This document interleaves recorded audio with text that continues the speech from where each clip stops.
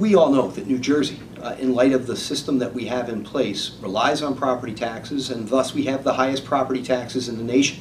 Uh, it- The people of this state have called upon the legislature to take definitive action to make systemic change, at the same time, uh, to make some hard and fast rules to deal with the property tax problem.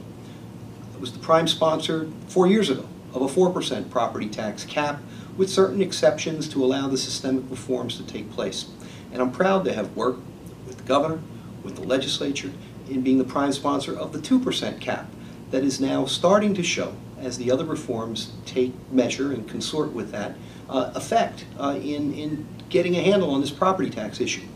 You, you know, what do we all worry about in these difficult economic times? Uh, are we going to be able to sell our houses? Uh, are we going to be able to buy one and be able to afford those property taxes? Uh, the people of the state are, are counting on us to put rules and regulations in place to assist municipal officials, those hardworking mayors, councils, and Board of Ed members, uh, to make those decisions that need to happen in order for us to stabilize this really very difficult burden for the people.